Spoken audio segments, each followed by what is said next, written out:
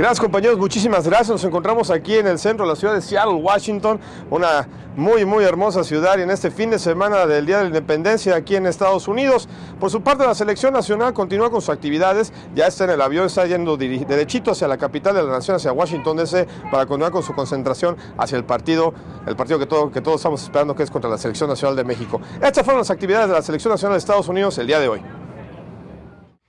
Mientras la ciudad de Seattle, Washington celebraba el aniversario número 233 de la independencia de los Estados Unidos, los pupilos de Bob Bradley continuaban con su último día de concentración en esta ciudad del noreste de los Estados Unidos. La confianza de ser subcampeones de la Copa Confederaciones tras verse cara a cara contra los mejores del mundo, sienten que será vital para enfrentar a México. Um, it's definitely a good experience to play the best teams in the world, and um, you only can get better from that. And uh, hopefully, we learn from from the negatives in the game. Ellos no necesitan compararse con nadie. Saben quién son. For me, it's just uh, you know we're trying to win games. I mean, uh, we're not really trying to compare ourselves with Mexico, and uh, we're very confident. Y no permitirán que se les escape una vez más otra victoria de las manos. We got to play smarter uh, when we have a 2-0 lead against a, great teams like Brazil. So um, yeah. we need to keep the ball and, and, continue to press like we did in the first half, and I think uh, then we'll, we'll be a very good team. ¿Y su predicción? Any predictions for August 12? no, uh, you know, we're just going to go out there like we've gone, uh, been playing, and hopefully uh, we get the win.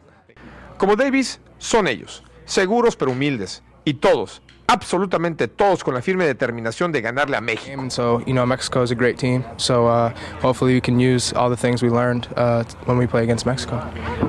La selección nacional de los Estados Unidos vuela en este momento a la capital de la Unión Americana, donde continuarán su concentración hasta el próximo jueves, cuando viajen de Washington DC a Boston, Massachusetts.